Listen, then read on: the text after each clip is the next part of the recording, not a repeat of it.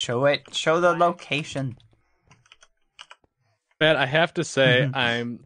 I feel like you're spoiling us with the exact coordinates you give. Like you don't just say like 300 or 330. You say coordinates are 334 I negative 604. okay. How is anyone going to find it if I don't give like the exact coordinates? Okay. I, I, I mean, like I'm I'm not looking for the exact block, man. I'm looking for the. No, you want the exact coordinates. Exact. this is the exact location you need to be at. Everybody needs these exact memories. Oh you're, Oh my you're like gosh. the dad that's like going on like a trip to the Grand Canyon for the first time with his kids. Oh my goodness. All right, whatever, whatever. okay, okay. I think everything's good though.